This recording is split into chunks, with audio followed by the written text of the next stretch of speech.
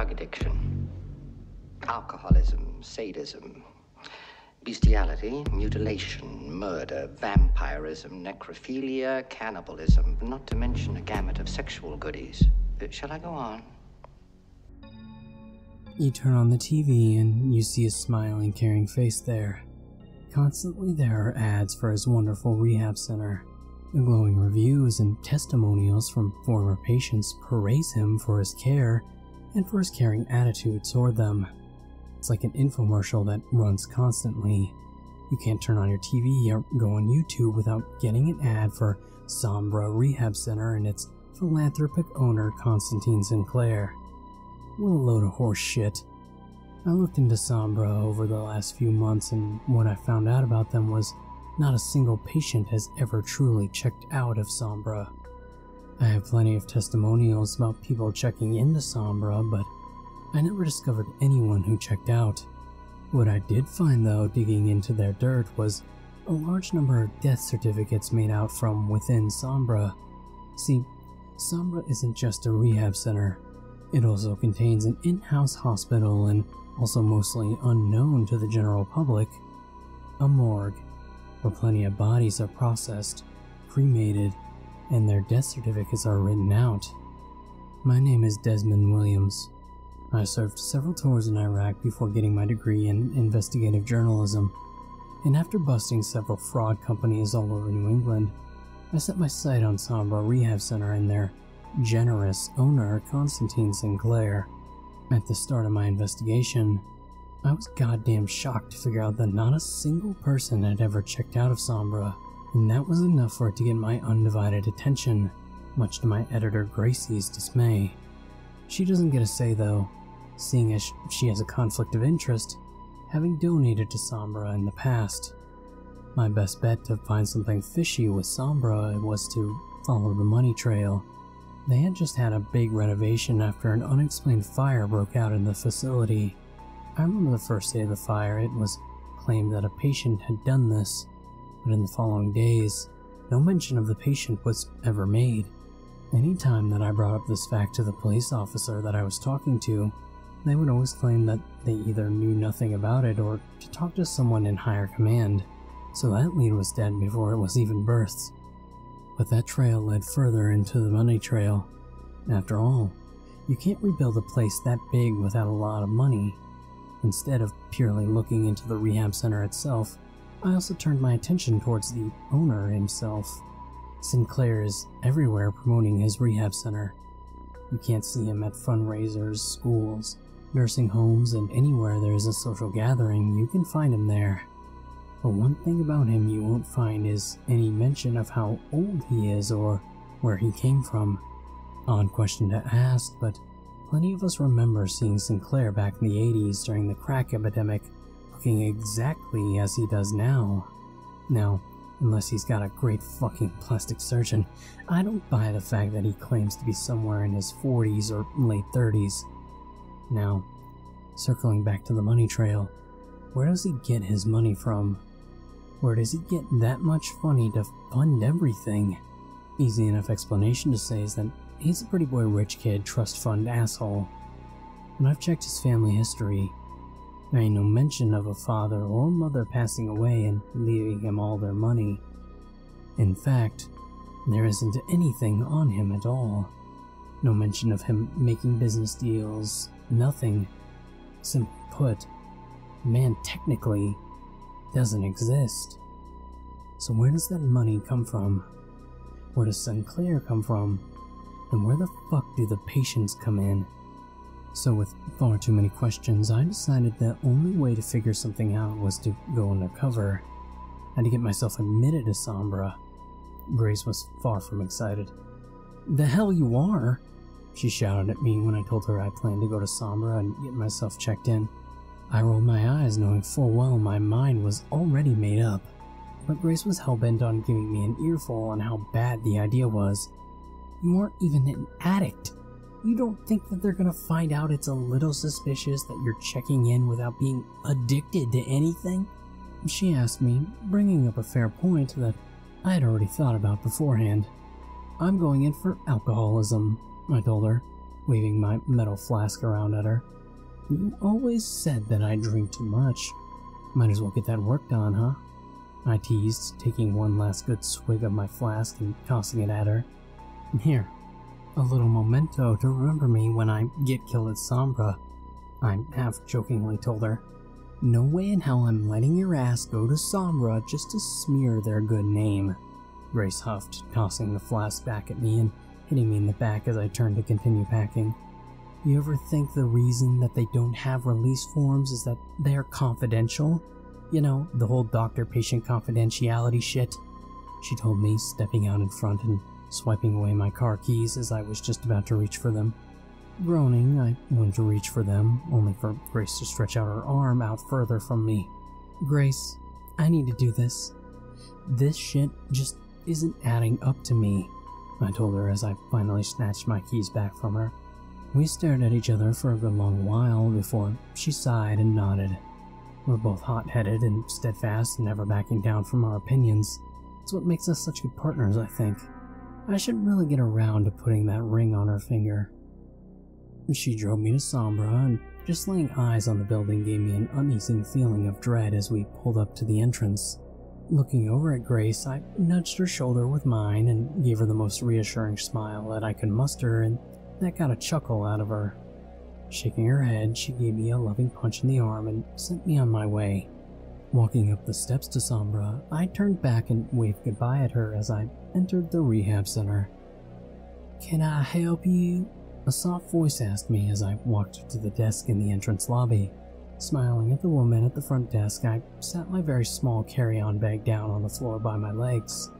I'd like to check in, please. It almost felt like I was checking into a hotel with how fancy and casual the whole place was. While it had a feeling of clean sanitation of a hospital, it also really felt like a fancy hotel or sauna. The nurse stared at me for a second before beaming and nodding quickly. Of course, sir. And might I add, I'm very proud of you for choosing to get some help. The nurse was so cheerful and excited that even though I wasn't really an addict, something about the way that she was excited for me genuinely made me happy and excited to start my regiment. Uh, just a moment, I'll get the head nurse to check you in. She stood up quickly and walked over to the door behind her, typing a code into the door and slipping into the back.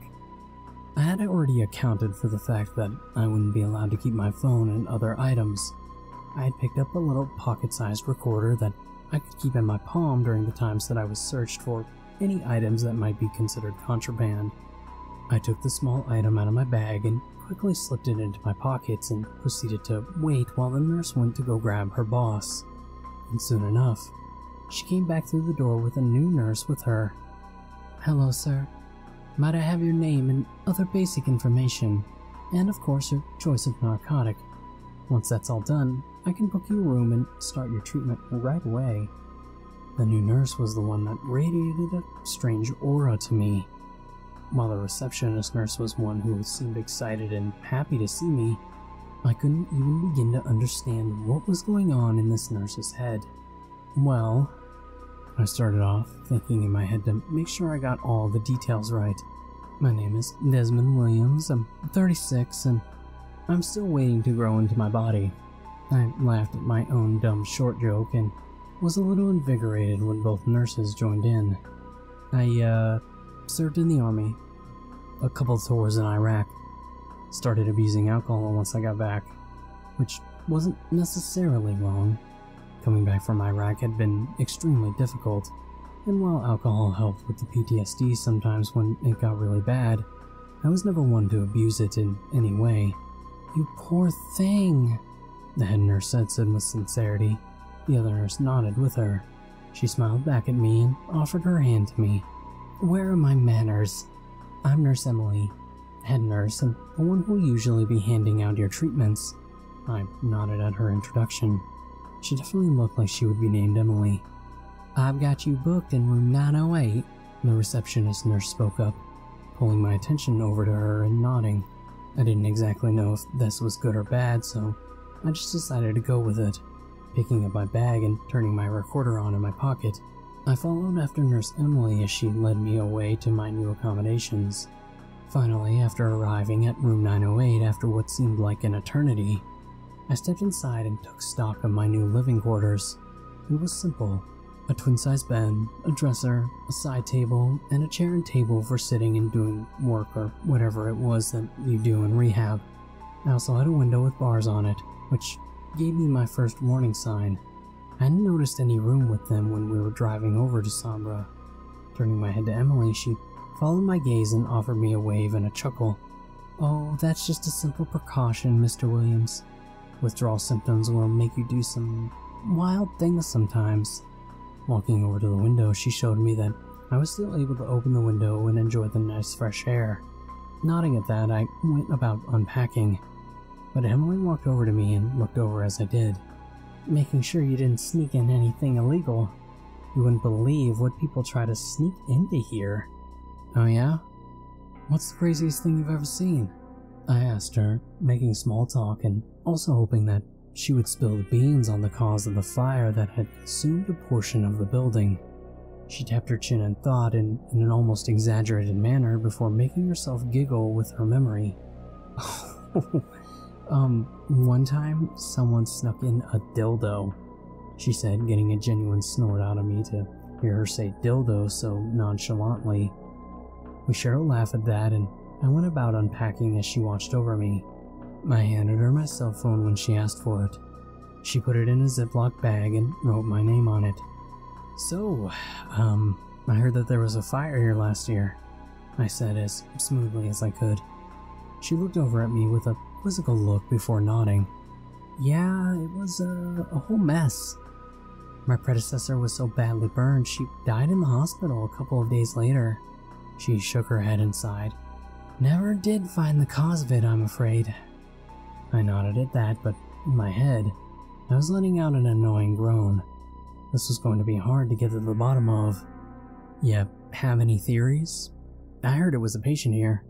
I was hoping that she wouldn't get suspicious of my insistent questions. It looked like she was when I brought that up, but she simply shrugged and handed me some hospital clothes and socks from a nurse who arrived with a cart full of them. I heard that, yes. Also heard it was bad wiring, arsonists, and lighting. Really, every cause in the book. She handed me a couple more clothes and I traded in my own for them. She handed them off to the other nurse before grabbing a checklist and starting to scribble on it. Now, when was the last time that you had a drink, Mr. Williams? She asked me. Um, about an hour ago. Wanted one last swig, you know? I told her. She nodded in understanding and quickly scribbled something down on her list. Will that cause any issues? I asked her, expecting to get dressed down for doing so. But instead, she shook her head and offered me a smile. It just means that your detox will take longer. I'll be prescribing you pills to aid you in the process, just in case it becomes, you know, too much for you to handle. She scribbled some more things down on her clipboard and handed it over to the cart nurse who nodded and pushed the cart along down the hallway. Great, um, anything else? I asked as I took my shirt off and started to put on my rehab issued clothes. She seemed to think for a moment before shaking her head with a smile. That should be everything, for now. Just get some rest and enjoy your stay. You're free to walk around and meet your fellow patients. Mr. Sinclair will also be around later today if you'd like to meet him. He has a special soft spot for fellow veterans, she said with a wave, leaving just before I could ask her one last question. Sitting in my new bed, I turned off the recorder and stripped down to my boxers as I switched pants. Fellow veteran, huh? Nothing in my research ever said that Sinclair was a veteran. Taking out a notebook and using the pen I had kept from signing into the center, I quickly scribbled down a few notes that I did have so far, mainly Sinclair and the fact that I hadn't even been given a drug test yet to see if I was on anything else. Finishing up with that, I stood up and left my room to go explore my new living space. The hallways continued with their strange blend of both hospital and hotel rooms. Not to mention the whole place was built like a giant maze with plenty of rooms to hold patients, and I'm not ashamed to admit that I got lost a bunch of times only really finding my way thanks to signs and to maps conveniently placed on the walls. I arrived at the recreation center to see that several other patients were there. They all appeared to be out of it. Some of them just stood around and stumbled around in a daze. It seemed like they were all hooked on heroin or something. Walking over to one patient who was trying and failing to put a puzzle together, I waved my hand in front of his eyes and got no sort of response from him. He was in a trance and seemed to be functioning on only muscle memory. Hey, quit bugging him! came a female voice from behind me. Turning to see that, I saw that it wasn't only the nurse that was behind me. Her arms were crossed, and she looked like she was already fed up with whatever it was that had already happened to her again. I held my hands up and stepped away from the comatose man. You must be new, considering you're so conscious enough to understand me. Yeah, um, I just arrived this morning. I told her, and to which she looked at me like I had my hand caught in the cookie jar or something. Is there some kind of problem, ma'am? I asked her, and she looked back at me with hellfire in her eyes. Never seen a white woman that angry, except if her name was Karen. Yeah, I have a problem. You should have never came here. This place is fucking cursed, and you just signed your own death warrant.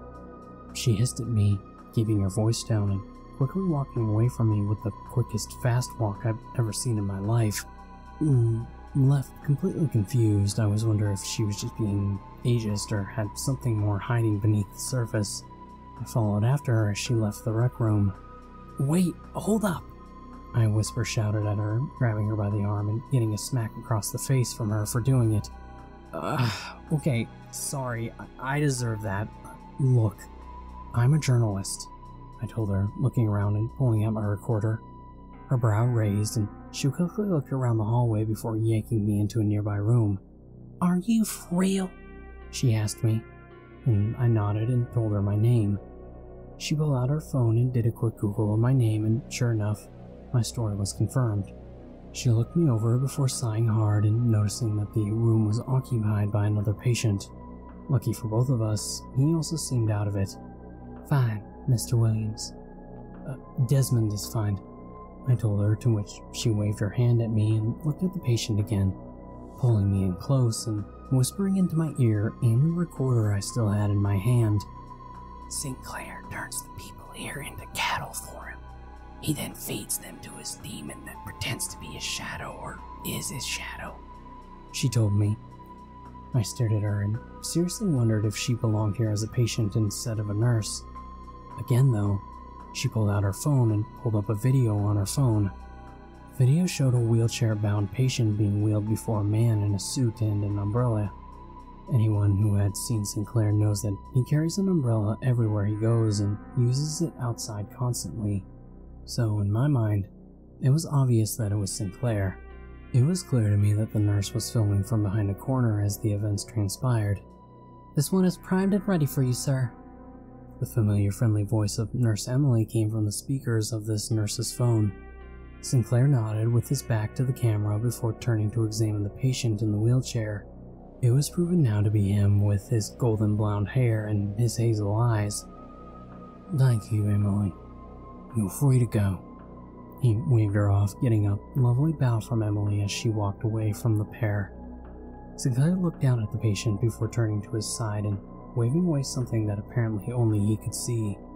Suddenly, the patient was lifted up from the wheelchair like it was nothing, before suddenly a large chunk of his face disappeared in a loud crunch sound. Sinclair stepped away from the gory affair as more and more pieces of the patient vanished. You can't see it in the video, the nurse told me as the video suddenly cut off and the last few pieces of the patient were seemingly chewed and swallowed away. But in person, you can see it plain as day. She quickly turned her phone off and shoved it into her pocket. A fucking shadow that's always around him, and he does that to his patients. She spat, looking at me and waiting for me to respond. Jesus, was all I could muster. What I had just seen looked like a horror movie, and I had just seen a live recording of it. That's why no one ever checks out here. I mumbled, and the nurse quickly nodded. It's in your best interest not to take the medication that Nurse Emily will give you. That just turn you into one of those lifeless husks, she told me, looking around before grabbing my palm and writing something down on it. If you manage to get out of here, contact me. I have a shit ton of more things to tell you. With that, she clicked her pen closed, shoved it into her pocket, and walked away from me. Completely caught off guard, I looked down at my palm to see the girl's email address and her name Riley. I made a mental note of that and quickly clicked my recorder off and headed towards my room. But before I could get there, I was intercepted by Nurse Emily. Oh, just the man I was looking for, she said with a smile, holding up a bottle of pills and some water in one of those cone shaped cups. You won't mind if I watch you, right? Just gotta make sure you're actually taking them. She chuckled, and I nodded with a smile, secretly wanting to strangle her right then and there. Not a problem, I said, taking some pills in my hand and throwing them back. I had no intention of actually swallowing them. I held them under my tongue and took some water with them. With some difficulty moving them around my mouth, I managed to hide them under my tongue, showing them off to her and getting a thumbs up from her. Wonderful! Oh, and I have some more good news. Mr. Sinclair would like to see you personally in his office. I gulped and nearly swallowed the pills, lifting up the cone cup to drink some more water and secretly spitting the pills back into it, crushing it before nodding to her. Sure. Take me to see him.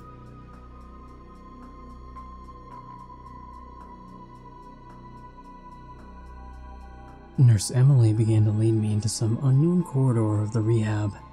She continued with her tasks as she led me towards some uncertain fate. Several things were running through my mind. The main thing being why the hell I had decided to go under my real name. Sorta hard being an undercover journalist when you use your actual name. The other thought was if Sinclair already knew who I was, then would I meet the same fate as the person I had just seen on the phone recording? And surprisingly, the thing worrying me the most was I would react when I saw Constantine Sinclair. Whenever I saw his face on TV, I wanted to introduce my fist into his pretty rich boy face. Right this way, Mr. Williams, Emily told me as we came off the staff only area of the rehab center. I watched as she used her ID and punched in a code before being able to enter the area. If I didn't know about what this place does to patients, this would have just been a precaution towards any patient that might cause a problem. But now I at least know a fraction of the truth about this place. Any number of things could be hidden behind that imposing metal door. I followed Emily in as the door opened up. As opposing as the oppressive sterile nature of the rehab center, staff only room was almost like an airport member's lounge. You guys sure do live in luxury, I jabbed at Emily, thinking back to my plain sterile room, and the overall sense of class division between the staff and the patients came more clear to me as I followed Emily further into the private area. The nurses had sleep stations that looked something out of those rich people magazines or HGTV. Made me want to become a nurse and work here. Mr. Sinclair wants only the best for his staff and his patients as well, of course. Due to frequent vomiting and the like from patients, we have to keep our rooms quite simple for a comparison. I do apologize for that. I nodded and just kept following her as I looked around. This area was damaged mostly by the fire, so Mr. Sinclair made sure no expense was spared to rebuild it. Emily continued to sing Sinclair's praises, and I continued to absent mindedly nod along to whatever it was that she was saying. At long last, we arrived at an ornate door with the engravings CS on it. Knocking with the back of her hand, Emily stepped back and waited a few seconds before nodding to me and allowing me to step forward and open the door. The office surprisingly was much more simple than I thought it would be. It contained a few bookshelves, a wooden table surrounded by couches, and in the back middle of the room was a large wooden desk where the blonde hair occupant was currently intently writing something down. Take a seat, Mr. Williams. Sinclair didn't even bother looking up at me as he continued to write down whatever it was that he was saying. I simply walked over to the desk and took a seat at one of the available chairs in front of his desk. The owner of Sombra was puffing like a chimney on a cigar as he continued to write, occasionally taking the cigar out of his mouth and tapped it on an ashtray next to him. Finally, after maybe three minutes of awkward silence with me doing my best to not fidget and betray how nervous I was, Sinclair finally capped his fancy fountain pen and looked up at me. How do you do, Mr. Sinclair? I asked him, offering him a smile. My eyes drifted over to his shadow, which appeared just normal. It matched his head and hair, everything.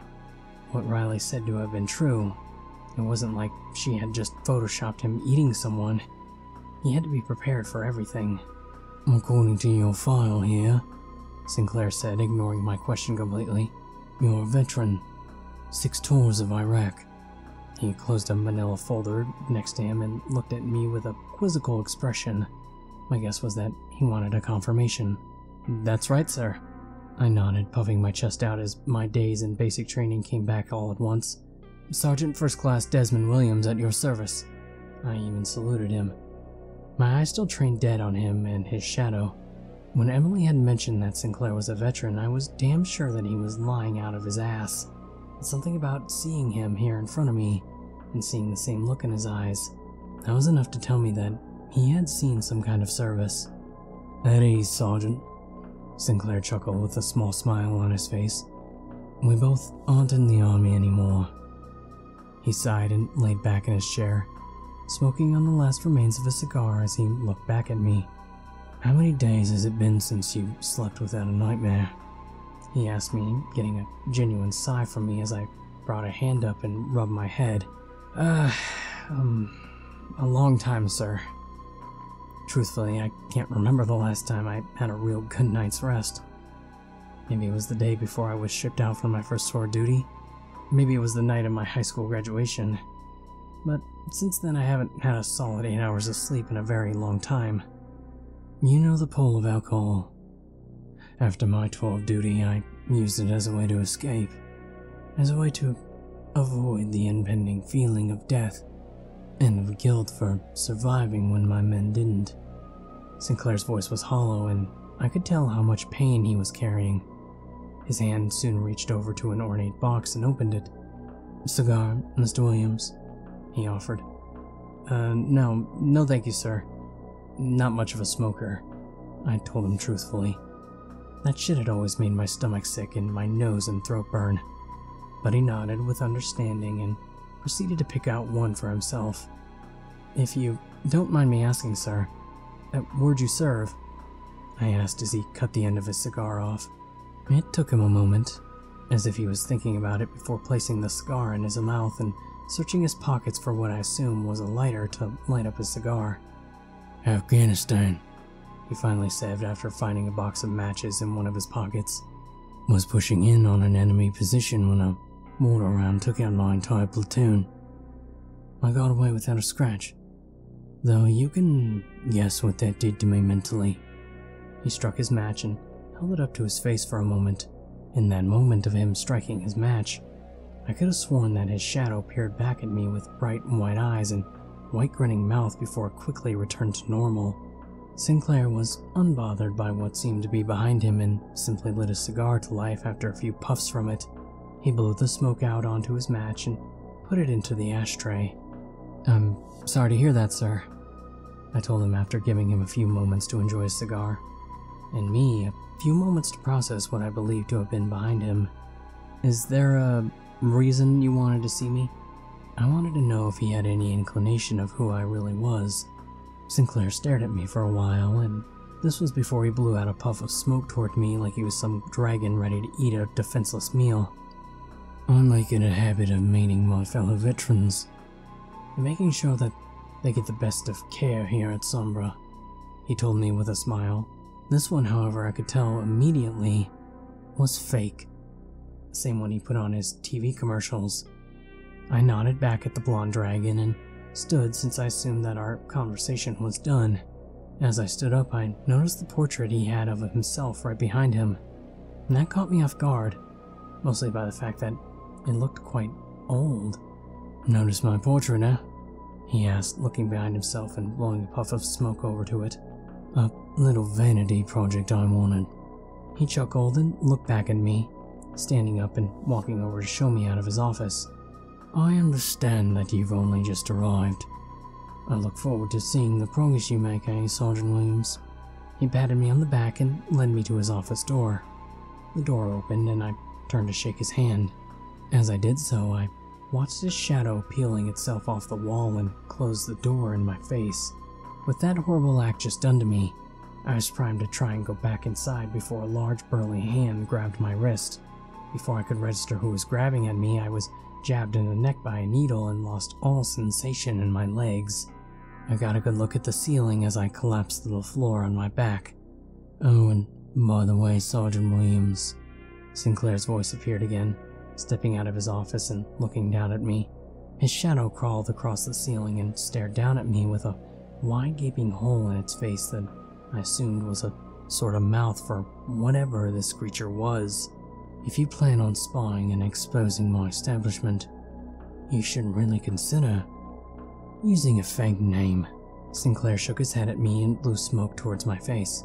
Soon I was lifted up and made to meet Sinclair face to face, his shadow crawling down the walls and took its position next to his blonde owner. Guessing I wasn't thinking straight, I spat out, wanting to spit on his face, but finding it impossible to really do much but talk and move my eyes back and forth. Sinclair nodded and blew another puff of smoke into my face, causing me to cough uncontrollably. you lying piece of shit.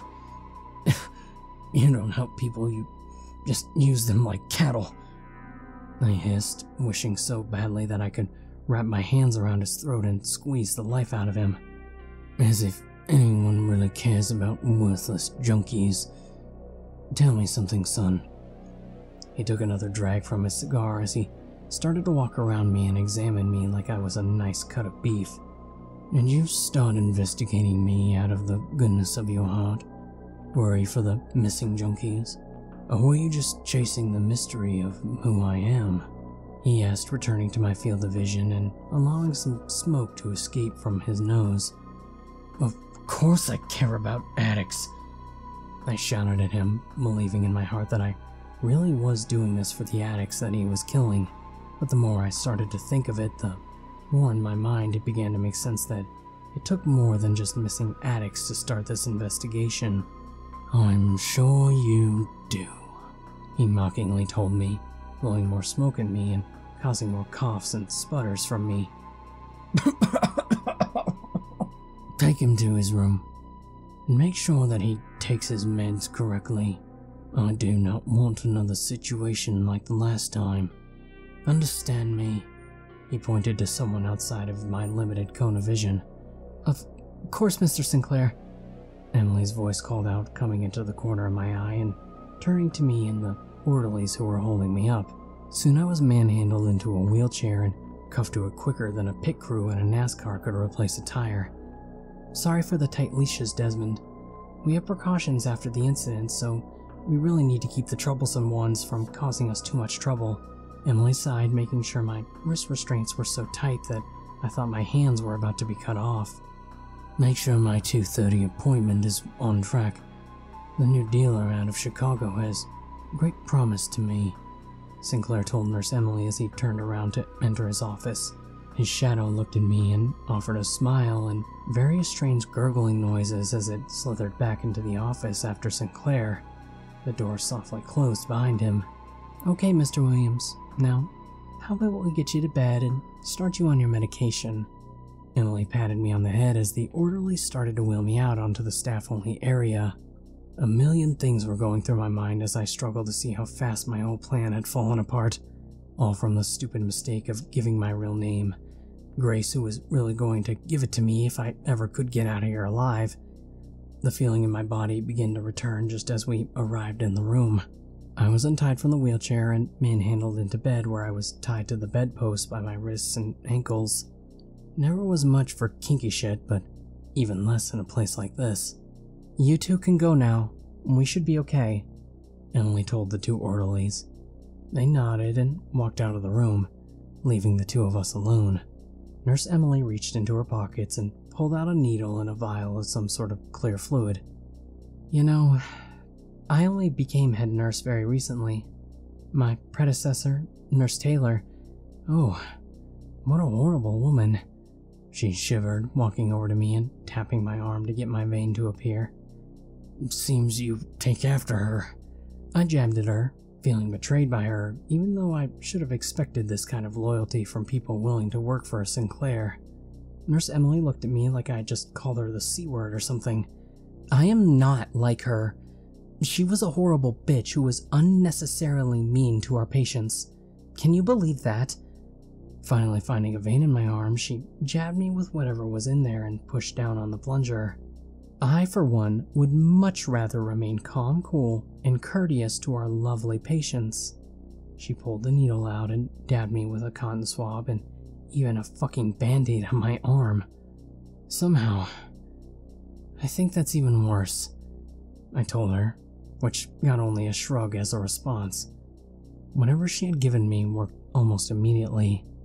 I became very drowsy as my eyelids weighed over a hundred pounds as I drifted off into sleep. But this was right before I saw Nurse Emily remove some more vials from her pockets.